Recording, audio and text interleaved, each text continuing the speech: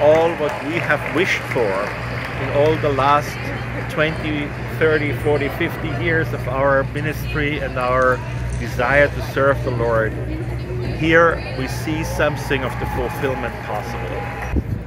Brothers and sisters, I'm standing here in Asbury. That's a Methodist University. Uh, many hundred years ago founded to be a place where missionaries have to be educated. It is built on all the vision of John and Charles Wesley to reach the whole world with the gospel. What we experience here, uh, Carol, Kevin and myself, and we traveled about eight hours from Augusta to here in the middle of Kentucky, in the middle of literally nowhere. Around us are only meadows and cows. In this, we traveled here because this is an absolute authentic revival of Christianity.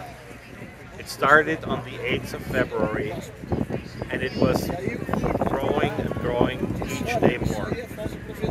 Thousands of thousands and thousands of people have come here to find Christ in a new way, to be touched by the Holy Spirit, to restore their relationship to the Father. And we have seen here one of the most authentic things I have seen in my life.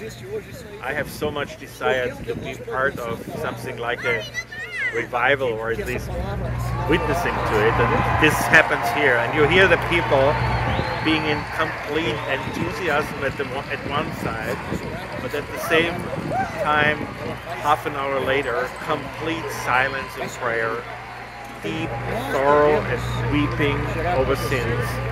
And another half an hour, loud praise, worship, enormous atmosphere of peace and reconciliation. And these are not empty words. I have not seen anything like this in, in such a concentrated place like here.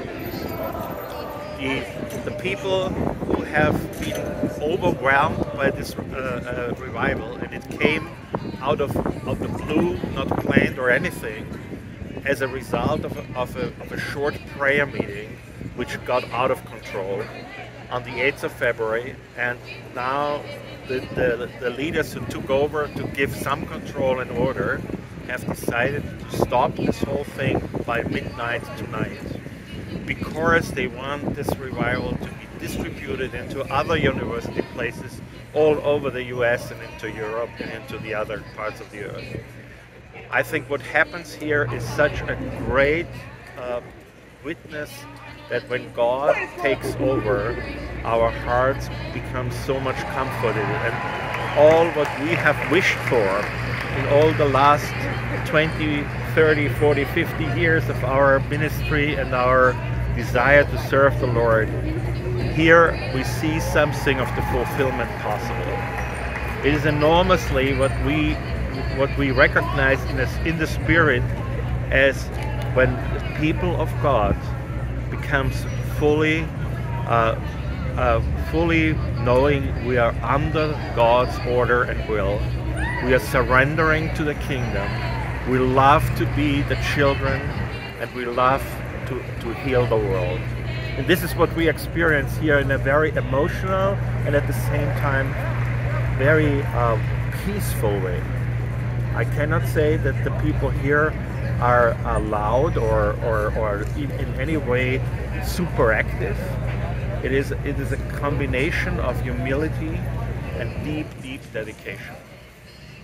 So I'm thankful to God to be a witness to this, and I can only pray and wish that what we have experienced this today will be a reality in many places on the earth, and that this next uh, years will be years of revival and seeing the power of God overwhelming men and women to become the children of God. Amen.